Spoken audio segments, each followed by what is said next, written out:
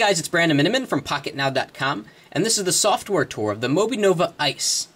There's a lot to talk about in this video, so let's get started. The first thing that I want to point out is all of the functions of this OLED screen. You can't really see it until it actually turns on. It's 96 by 96 pixels, and when it does turn on, you'll probably see that it's flickering, but it's actually not flickering right now. It's just that the refresh rate is slower than the camera that is taking this video. So the first function is kind of to act as a system notifier. So if I press this button on the side, camera button, which is kind of weird that they made it the camera button, um, we will get this. And basically basically it tells us the time, uh, battery life, whether we have a cell phone signal, and right now the SIM card is out, so there's no signal. And it'll also tell you if you have a new message down below here. And that's really all you can do with it. You can't tap on it um, to bring up an email or anything like that. The, the purpose of the screen in this case is just to give you some system notifications. Now, the other two cases is that one, it will act as a D-pad when you turn on the phone, and you get a little bit of haptic feedback when you press on a button and it's actually very weird and kind of cumbersome to use the D-pad because it's completely flat, so you have to look at it each time. And another problem is that the um, the soft keys and the D-pad are so far away from each other that you're moving your thumb around a lot, and I really try to avoid using the D-pad if possible. Um, and the third way that, that this OLED screen is used is for new message notifications. So if you get a new email, you'll get a picture of an envelope that fills up the entire screen in kind of like a brownish color. Although oddly, this shows up mostly when you turn off the device and you have a new email, which is strange because if you have a new email, you'd want to see the notification right when you turn on your device, not when you're turning it off. Oh well. So let's take a look at the rest of the device here. So the screen is 400 down and 240 across, but not really. You get this unchangeable row of icons that you cannot alter or adjust. Um, this is kind of reminiscent of early Palm devices or even the Apple Newton um, that gives you uh, kind of a launcher for various applications and system settings. So basically what you're stuck with is a QVGA screen, which is a very last generation resolution, making things on the screen appear very grainy and pixelated. It's unfortunate that uh, this device doesn't take advantage of this space down here. That said, let's talk about how Mobinnova has used this space down here. So if I tap on the first one, it says telephone, it will go into the Mobinnova interface. And what we can do here is if we tap on phone, it takes us right to our uh, our phone, and this is the skin for the phone. The screen is small, and it's hard to, to type the, the buttons on the screen. Um, it's best used with a stylus, not very touch friendly. We can go to Mobi Friends, which is actually pretty cool. It gives you a circle of people that you call often. So if I tap on this person, it will bring up um, different ways to contact this person. So I can send them a text message, an email, do a voice call, remove. Um, it's a really great way, I think, to to access different ways of communicating with someone. If we go to contacts, we'll obviously go to contacts, standard Windows mobile thing, call history, and voice dial. Now, if we go to the right, we are taken to the next icon, and let me go back out and show you that we just go right over to applications. So that does the same thing. And from here, this is just a program launcher, really, so we can go into email or SMS or um, anything like that. And we can go back again, or I could have uh, swiped my finger to the side. And if we go into multimedia, we have access to things like the camera, FM radio, and the camera's having trouble focusing because it's a weird kind of a contrast there. If we go into settings, uh, we can change some settings. If we go into sound, we stay within the Mobinnova interface here, and we can adjust the system volume or um, turn on ring or vibrate. If we swipe our finger to the right, we will go to connectivity, and here you can turn on uh, phone or Wi-Fi. This is kind of like a skinned communication manager, really. Go to the right again, and here is the display settings. Um, from here we can adjust the backlight or we can leave it on auto. I'm going to put it on manual there. And if we go one more to the right, we get uh, some system settings. We can turn on and off MobiFeel, which is the haptic feedback.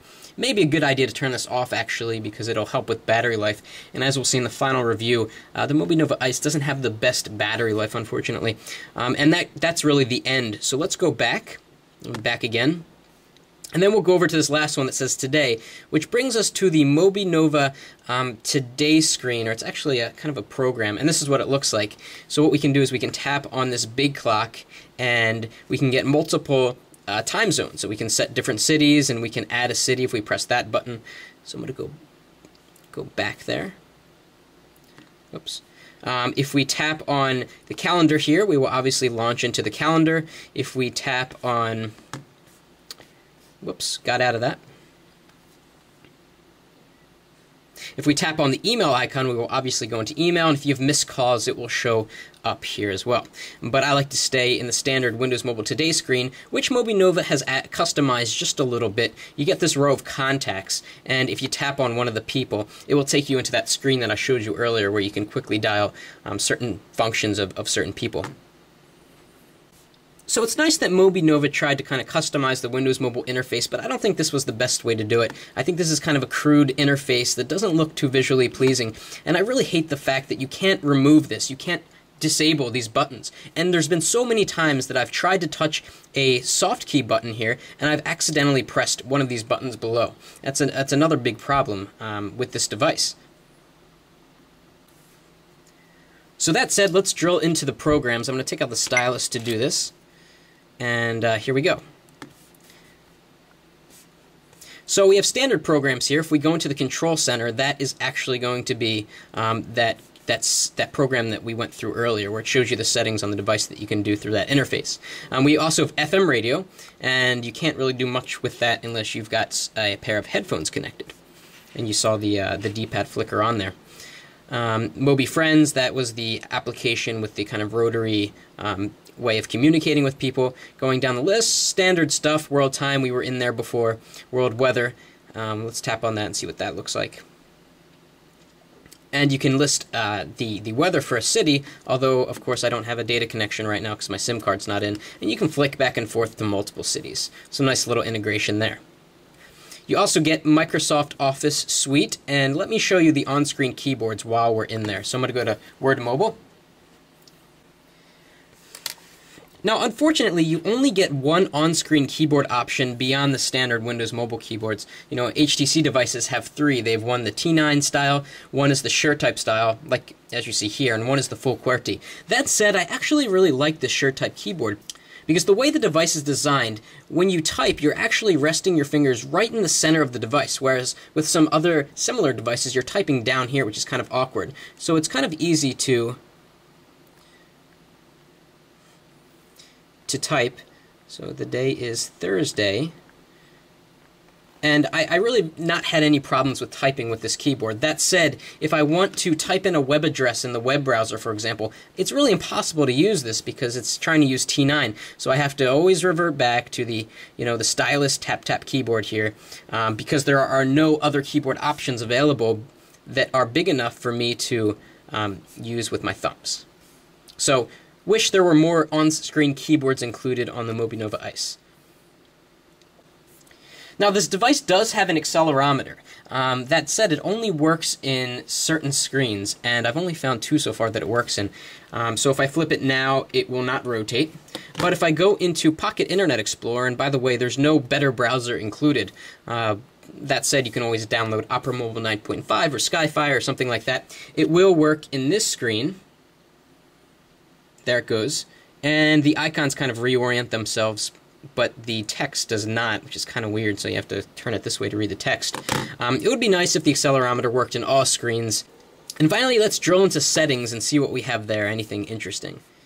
So if we go into the Today option, we can turn off the Mobi plugin, which is that one you saw with all of the uh, pictures of, of frequently called people there is no way to turn off these buttons, and I've been in the program and I've talked to the company. There's just no way to do it, unfortunately. I think that's a that's a big problem for those that don't want these icons on the bottom to take up extra screen space. So here we are in System, and we can go down, take a look at memory. I have a bunch of programs open. It has uh, 81 megabytes of program memory available which is eh, okay, not so great. Finally, if we go into connections, we can go to the wireless manager to see what that looks like, and we saw this earlier. This device does have the bands necessary to do HSDPA in the United States. Um, I'm using AT&T, and I get HSDPA signal over uh, this device, so that is good. And that's pretty much it for the settings. So overall, I think the Mobinnova Ice has a lot of usability issues. Starting with the OLED screen, it's completely flat, it's difficult to use, you can't feel for it. Um, its functionality is quite limited. You can only use it as a D-pad system notifier, and uh, it, it, will show you when you have a new email, things like that. And I think it's taking a toll on battery life unnecessarily. I mean, you're powering two screens here, when you could just have a standard D-pad, have it be easier to use, and not take up that extra battery life. In addition, this application launcher, while it's useful sometimes, problems, and I applaud Mobinnova's effort to kind of bring this new interface. You can't remove it, and it really gets in the way when you're trying to operate the phone and trying to use a soft key. You're accidentally pressing these all the time, which really is, is quite annoying. Uh, and finally, the screen is low resolution. Basically, what you have at the end of the day is a QVGA screen, and all new Windows mobile devices that are coming out, at least the ones that I can think of immediately, have a high resolution screen above this, uh, making for a clearer image. So I think those three things really take a toll on the usability of the Mobinnova Ice, which is a shame because it, it has otherwise nice hardware, the performance is good, and it has a lot to offer in terms of the wireless radios that it includes and the FM radio and everything like that. But we'll have the full take on this coming up in the full review where we'll talk about battery life, pros and cons, and everything like that. So keep it to pocketnow.com mm-hmm. for the full review of the Mobinnova Ice. That's it for now.